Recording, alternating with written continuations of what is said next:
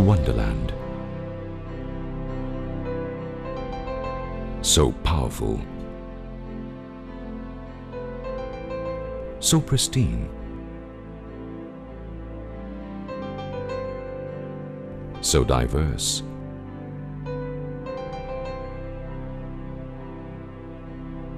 So vast.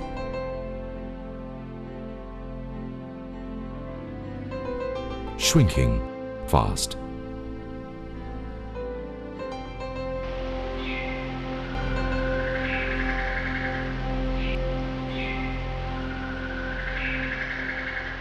Historically, peat swamps have been thought of as useless wasteland. A dirty, murky place full of hidden danger, fit for breeding colonies of pests. Through the years, because of development, the peat swamp has been cleared and its physical landscape completely altered. All along, project developers thought they were doing good.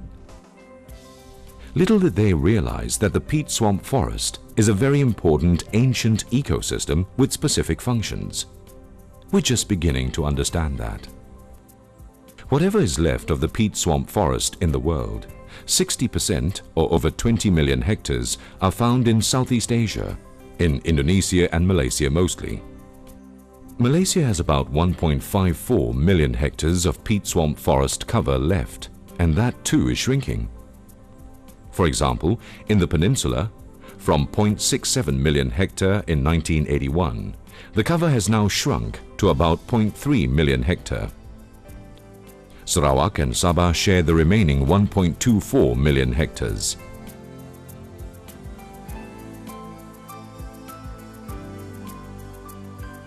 The peat swamp forest constitutes one of the very important landscapes that fall under the wetland.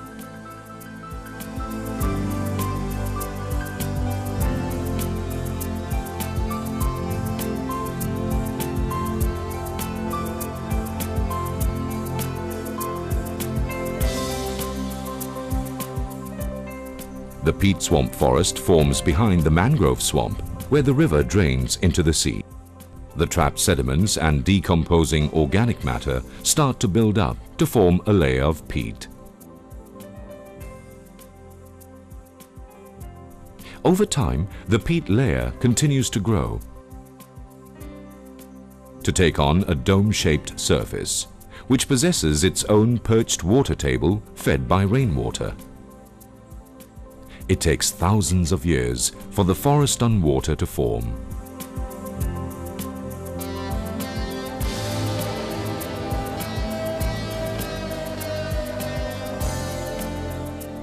And Mother Nature, as the architect, has given the peat swamp forest several vital roles to play. Like a huge sponge, the accumulating peat soaks excessive water from the rivers and streams during the wet seasons and releasing it during the drier periods. As a natural filter, the peat traps suspended sediments as well as airborne and waterborne toxic substances like mercury, arsenic and lead, which are distributed in various ways throughout the peat. The peat swamp acts as a huge reservoir of carbon. The decaying vegetation stores the organic carbon in the form of peat. As a natural buffer, the peat swamp forest prevents the intrusion of salt water into freshwater wells in low-lying areas. And finally, it is home and provider of food to numerous species of plants, animals, birds, fishes, and a place of cultural importance to the natives. Of course, the peat swamp forest is a potential place for recreation, nature and scientific study. Unfortunately, environmentally unsound practices due to human apathy and ignorance have been threatening the peat swamp forest's physical landscape. Its ecosystem is being altered in a number of ways, such as removal of riparian vegetation next to streams for residential and industrial development, livestock farming, introduction of non-native species such as weeds, non-native plants and fishes which compete with native species, agricultural runoff Carrying pesticides, fertilizers and livestock manure changes the nutrient levels and quality of water. Discharge of sediment plume into the river systems. Straightening of rivers for road construction, which results in flooding, leading to changes in sediment deposition patterns. Physical destruction and degradation. Unsustainable logging practices draining the peat soil. Environmentally harmful recreational activities such as motorized boating, hunting, off-roading. To ensure the continued existence of our peat swamp forests, the Malaysian government has identified three sites to show how the conservation of biological diversity and the sustainable use of peat swamp forest can be achieved.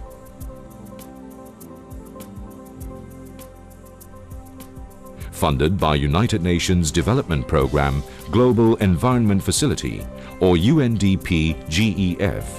the Tropical Peat Swamp Forest Project, which took off in June 2002, is developing several approaches and long-term strategies. Scientific Studies. Zonation of Peat Swamp Forest Complex.